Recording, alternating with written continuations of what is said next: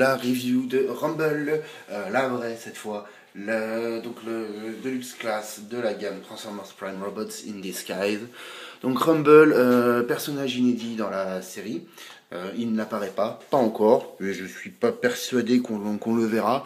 on a déjà Laserbeak qui fait qui fait part, qui fait corps avec Sunwave, on va dire. lui, normalement, c'est un peu le, la même fonction, quoi. C'est un, un Minions de de Soundwave. Mais euh, là, il apparaît en mode voiture, enfin, joué complètement à part, donc je, voilà, je suis pas convaincu qu'il apparaîtra. Après, je peux me tromper, c'est mon intime conviction. Toujours est-il que euh, donc il arrive sous forme de petite voiture, une petite trois portes, plutôt sympathique. Euh, alors, je vais tout de suite enlever ça, là, ces armes. En mode véhicule, elles passent moyen. Et je vais vous demander également d'être tolérant, puisque malheureusement, j'en ai cassé une. Vous voyez, là, vous avez un picot. Et bien sûr, celui-là, je l'ai cassé en fait à ce niveau-là. Tout ça, c'est moi qui ai été obligé de le refaire. Euh, je vous passe le détail de comment j'ai galéré à réparer ça. Alors, c'était pas trop gênant pour le mode robot, euh, puisqu'il reste une partie du picot à l'intérieur. Là, je sais pas si vous voyez bien. Donc ça s'arrête à ce niveau-là. Donc ça ne gênait pas trop. Par contre, en mode véhicule, je pouvais plus du tout, euh, du tout l'attacher. Donc, euh, donc voilà, j'ai réussi à le réparer. Je suis assez content. Euh, tout simplement, voilà, il est resté coincé là-dedans. J'ai vu qu'on pouvait les attacher. J'ai essayé de faire quelque chose. Ça n'est pas terrible. Le truc est resté coincé, comme le plastique est pas terrible. Voilà. Donc bref, s'il a une drôle de tronche, c'est pour ça. donc avec ces armes, ça fait moyen sur la voiture. Bon, la voiture en elle-même est plutôt jolie. Euh, une espèce de euh, moi ça fait c'est plus type voiture européenne hein, je vois pas des, des voitures comme ça euh, ou, ou, alors asiatiques éventuellement japonaises mais je vois pas ce genre de voiture aux USA hein, c'est pas leur style. Ouais ça fait un mélange entre un peu plus allongé une Clio ou peut-être une, une 205 enfin ce, ce, style de voiture quand même si la l'allure enfin la finition les phares n'a rien à voir vraiment dans la forme c'est un peu ça donc une petite voiture, euh, plutôt jolie, mais alors un manque de détails. Oh là, là enfin pas de détails, de couleurs, parce que là vous pouvez voir que les phares sont, sont sculptés. Euh, vous avez une plaque également là, bon sans détail, des trois des petits, euh, à droite à gauche, le pare-choc devant avec les phares, mais euh, voilà, la voiture est toute bleue, les roues toutes noires. Bon, le pare-choc un petit gris anthracite, et à l'arrière rien. Alors par contre, un logo Decepticon ici. Hop. Et ici, voilà, devant et derrière, donc plutôt pas mal. Euh, voilà, ça fait troisième Decepticon que je vois avec un, logo, euh, alors que sur les Autobots, j'en ai euh, pas énormément. Voilà, donc le mode véhicule. une belle voiture avec les vitres en, transparence, donc c'est du, du rouge transparent. Donc oui, la voiture est bleue. bon, moi je pense que Rumble est rouge, mais il a quand même les vitres en rouge. Donc comme quoi, est-ce que on se dit bon pour, euh, pour mettre d'accord tout le monde, on met du bleu et du rouge et comme ça toujours sera, tout le monde sera content. Euh, non, je pense pas, pense pas parce que c'est quand même une dominante de bleu. Hein. Mais voilà, les vitres sont, sont, plutôt jolies et ressortent bien. Euh, on va se faire une petite comparaison de taille. Donc le voilà à côté par exemple de Wheeljack. Donc tous les deux sont censés, je pense, être des voitures relativement petites. J'entends en taille réelle hein, par rapport aux autres voitures. Euh, euh, ça, clairement, euh, une, deux portes, c'est vraiment une petite voiture. Et puis Wheeljack est censé être une, voiture assez plate, une voiture de sport, mais relativement petite. Et voilà, à côté de Veicon. Bon, Wheeljack, on s'en fout du coup. Maintenant, je vais retirer l'arme. Voilà, à côté de Veicon. Et là, bah, là clairement, on n'est on pas à l'échelle. Hein. Je pense que celle-ci est censée être au moins la même hauteur. Euh, là, clairement, euh, ça, euh, c'est censé être, censée être beaucoup plus petite. Bon, maintenant, c'est pas un gros jouet non plus. Hein. C'est juste que c'est la taille du véhicule qui est, qui est, pas, qui est pas en rapport, quoi, on va dire, au, niveau de l'échelle. Mais bon, sinon, on est, on est sur un deluxe classique, c'est-à-dire pas bien gros non plus. on va passer à la transformation. Alors, pour la transformation, bah, vous allez commencer par mettre ces armes de côté, pour le moment. Euh, alors, vous allez commencer par écarter ces deux panneaux là au niveau des roues arrière, comme ceci. Voilà, vous déclipsez à cet endroit-là. Vous écartez là, voilà. Hop, bien à fond. Vous allez lever toute cette partie-là, qui vont être les bras. On va mettre ça de côté pour le moment. Au niveau de l'avant, vous allez séparer ici, ça va être les jambes. Vous levez légèrement comme ceci, et là, cette partie-là, vous la repliez à l'intérieur de ce qui va être la jambe, et vous ouvrez au maximum. Voilà, donc là, on fait pareil. On commence légèrement à ouvrir, on replie ça, et voilà. Les pieds ici.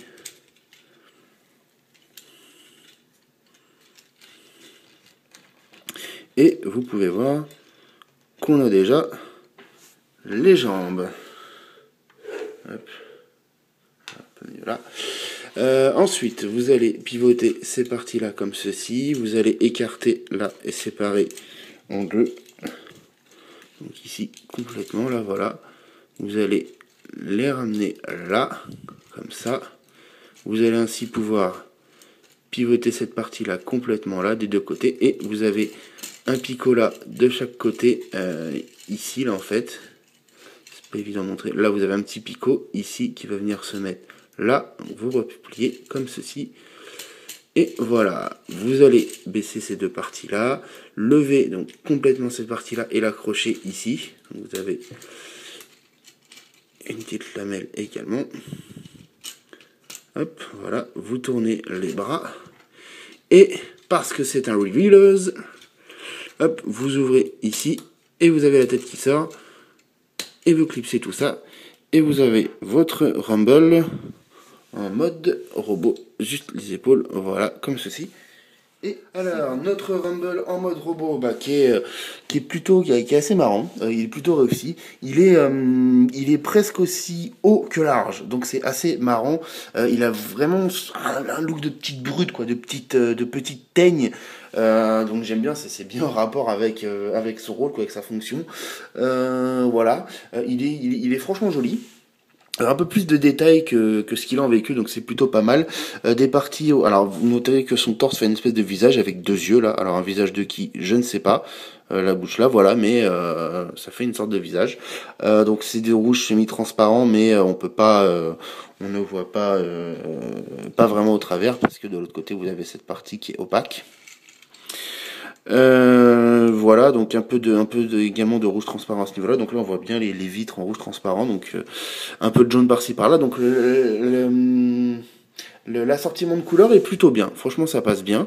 Euh, en termes d'articulation, bah là, vous avez, voilà, au niveau de la transformation, vous pouvez faire pivoter, même si ça fait un petit peu bizarre. Euh, les pieds là sont sur un ball joint, donc vous pouvez euh, vraiment les un, ball joint sur le côté par contre, donc vous pouvez les bouger euh, d'avant en arrière et de manière latérale, donc plutôt pas mal. voilà, là ça pivote et puis ball joint, rien au niveau du bassin. les bras, là ça pivote comme ceci. Alors à ce niveau-là, attention, ça pivote comme ça, c'est très très lourd. Et puis et puis voilà, ça se, ça se déplace un peu là, je sais pas si vous voyez, voilà, hop. Donc euh, on peut pas le sortir. Hein. A priori c'est plus étroit là, donc on peut pas le sortir. Euh, je vais pas forcer non plus comme un bourrin, hein, mais a priori c'est bien bloqué. Mais par contre euh, voilà, il y, a quand même pas mal de, de jeux. Et puis la tête sur un ball joint, la tête qui a un euh, très beau light piping au niveau des yeux. Et puis et puis cette espèce de, de petite crête là. Voilà. Euh, donc franchement, un mode robot très très sympathique.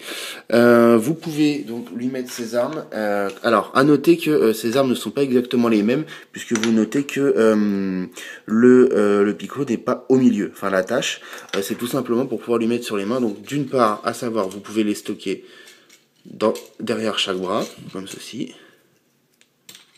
Voilà, si vous voulez les mettre qu'il les porte mais qu'il ne les ait pas au bras. Et puis donc, euh, si sur le mode véhicule ça faisait plutôt moyen, en mode robot, ça c'est celui que j'ai dû retaper, voilà, comme ceci.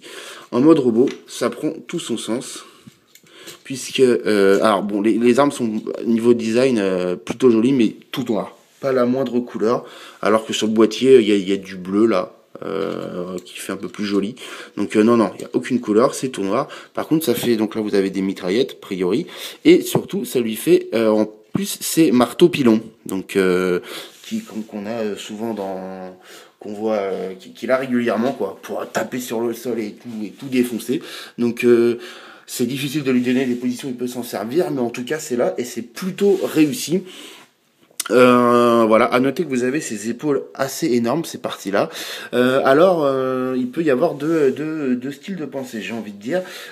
Certains vont penser que c'est juste parce que on se débarrasse de ces parties encombrantes, on ne savait pas où les mettre, ou bien ça fait partie un petit peu de de, du mécanisme en fait, enfin pour pour dire que ça fait partie de ses de, de sa fonction de, de, de, marteau pilon quoi, que ça se met que ça se met en place et que ça aide à, à donner. Enfin, je sais pas comment vous vous expliquer ça. Je trouve pas les mots dans, l'immédiat, mais notamment on peut on peut les, les, les baisser un peu comme ceci pour pour, euh, pour donner l'impression que voilà, qui se met, euh, qui met son mode, euh, son, son, son, son mode marteau pilon en marche, voilà, par exemple. Donc. Voilà, bon, enfin moi j'aime bien qu'il ait qu'il ses parties sur que ça lui donne ses grosses épaules. Je trouve que c'est c'est assez original. Donc ça plaira pas à tout le monde. Hein. C'est sûr que euh, c'est sûr que ça fait ça fait assez énorme. Surtout qu'il est il fait il, on va voir au niveau taille bientôt. Il, il est taille euh, classique, mais on a vraiment l'impression qu'il est pas bien haut. C'est en fait c'est parce que vraiment il est large. Mais euh, mais j'aime beaucoup. Franchement j'aime beaucoup la tête donc très très bien. Je sais pas si je l'ai dit. J'aime bien également ces ces parties là dans son dos. Ça fait ça fait assez sympa. Ça rappelle un petit peu Jolt de, de Dark of the Moon. Mais j'aime bien la façon dont ça se met, ça gêne pas. C'est euh, et avec ces deux trucs qui montent derrière, ça fait des pas comme des ailes, mais ça fait un, petit Enfin, j'aime bien. Vraiment, j'aime beaucoup, beaucoup ce jouet. Euh, je le trouve, je le trouve très très réussi. Euh, on va passer à la comparaison de taille en mode robot. Alors, la comparaison en mode robot, bah, on va faire à côté de Wheeljack donc qui est pas, pas parmi les plus grands. Donc il, est, il, fait plus petit quand même, hein. il est vraiment au niveau de la tête, hein. il n'y a pas de souci. Euh, il fait vraiment clairement une tête de moins. Euh, par contre, avec ses épaules, il y domine largement. Donc ça lui donne beaucoup de, une, bonne grosse carrure grâce à ses épaules. Euh, et puis il est, il est, il, est, quand même relativement large au niveau des pieds. Les bras sont très corrects. Donc vraiment, vraiment un petit nerveux. le voilà à côté de Veikon. Donc pareil, euh, qui est plus grand, donc euh, sans souci, hein, de loin, il n'y a pas de souci, mais qui est encore une fois beaucoup plus fin. Et puis bah évidemment, forcément, hein, impossible de ne pas le mettre à côté de celui qui est normalement son maître, Soundwave. Et là on s'aperçoit, hop, et ben on s'aperçoit que, on va essayer de le mettre droit quand même, ce qui n'est pas toujours évident, Soundwave est plus grand, mais encore une fois pas tant que ça quoi. Donc euh, et puis il fait euh, il fait vraiment alors là clairement beaucoup plus fin quoi. Il n'y a pas de souci là-dessus euh, Rumble fait beaucoup plus massif. Donc voilà. Au niveau de la taille on est sur quelque chose de plus petit que, de, en, hauteur en tout cas mais plus large. Vraiment vraiment il fait, il fait vraiment massif. Et, encore là je vais retirer ses, ses, armes parce que quand on lui met ses armes ça lui donne encore plus de plus de, de dimensions sachant que théoriquement ces marteaux pilons font partie intégrante du, du, du, robot. Ils ne sont pas juste ses armes. Mais, euh, mais voilà, euh, il, il est pas très haut, mais, euh, mais bien large. On va revenir en mode... Alors, pour venir en mode véhicule, bah, vous mettez ces, ces armes de côté pour le moment, on n'en a pas besoin. Euh, voilà, vous allez mettre les bras comme ceci. Là, les mains en fait vers l'arrière, tout simplement parce que vous avez des trous là et que vous avez des petites lamelles. Donc ces parties-là, faut un peu les tirer. À cet endroit-là, en fait, vous avez cette partie-là qui va venir se mettre dedans, comme ceci, voilà. Donc là, on fait pareil, on écarte légèrement, on ramène. Donc vous allez mettre ça comme ça. On va étirer ces parties et les rabaisser, tout en remontant celle-ci. Voilà. Euh, vous allez ouvrir tout ça en deux, ramener les bras là, et en fait, vous allez les attacher comme ceci, et il y a la tête qui risque de gêner. Voilà, donc il faut rentrer la tête. on, va, euh, on va la rentrer après, c'est un petit peu... Euh, voilà la partie un petit peu bordélique, quoi. faut faire les choses dans un certain ordre. Hop, vous rentrez la tête, vous repliez, remarquez, on aurait pu replier avant, comme ça au moins. On rattache. Pourquoi ça sert pas bien là? Voilà. Hop, pour le moment on va laisser ça comme ça. Les jambes, euh, ça vous pouvez le mettre tout de suite dans ce sens-là. Les jambes, on ramène les pieds là. On replie. On ramène ça là. Hop. Pourquoi ça gêne? Hmm, Qu'est-ce qui se passe? Voilà, c'est bon. Hop. Comme ceci. Là, pareil. Et c'est tout bon. On les met l'une avec l'autre. Donc on reclipse tout ça voilà ça on le met dans le bon sens on replie là Donc ça se met là. Et puis ensuite, vous clipsez ça là. Donc vous le rapprochez. Donc hop, voilà, ça se clipse ici et là. Et voilà, Rumble, hop, ça j'ai pas assez, j'ai pas assez serré en fait. Euh, bon, c'est pas grave là, à ce niveau-là, j'ai pas assez serré le torse en fait. Donc euh, ça, gêne un peu. Donc vous avez bien, euh, faut bien en fait fermer le, les deux parties du torse. Bon, c'est pas grave. donc nous voilà de retour en mode véhicule.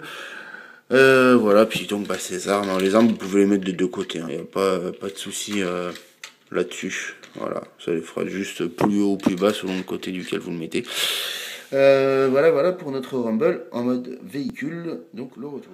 Alors en conclusion, je vous recommande évidemment très fortement cette figurine. Le mode véhicule est est, sympa, sans être génial. La voiture est plutôt jolie, même si c'est pas une, une, grosse bagnole de sport. Euh, mais la, couleur, le manque de couleur, malheureusement, c'est un peu dommage. Mais Riro Label a fait un très joli kit euh, que je vais très sûrement prendre parce que ce personnage-là en a vraiment besoin. Mode robot excellent, ça plaira pas à tout le monde, mais moi je suis vraiment vraiment fan. Euh, ça rend bien hommage au personnage. Ses armes, franchement, excellente idée, même s'il n'y a pas ce mal en mode véhicule, en mode robot, super bien. vraiment, j'adore le look de ce robot, donc je vous le recommande très Maintenant, il est sorti il n'y a pas très longtemps. Donc il est encore difficile à dénicher et a priori il n'y a pas un stock super important donc euh, euh, il, est, plutôt rare. Bon honnêtement si vous le voulez, vous le voyez, prenez-le. Euh, voilà j'espère qu'il y en aura un petit peu plus dans, les, dans, les, dans les semaines à venir. voilà voilà, un excellent jouet. en attendant je vous remercie d'avoir regardé cette review et je vous dis à la prochaine.